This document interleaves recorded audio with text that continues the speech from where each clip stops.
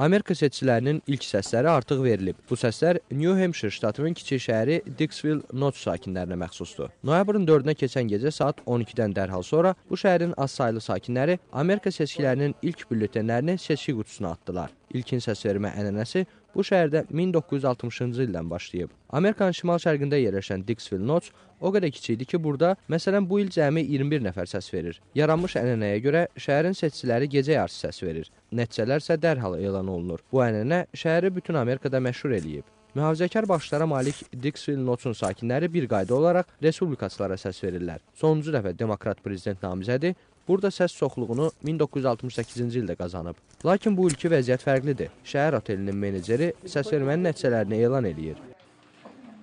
Əvvəlcə prezidentliyə namizəd John McCain 6 səs.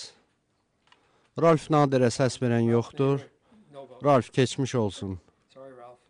Və Barack Obama 15 səs. Uh, Barack Obama, 15 votes.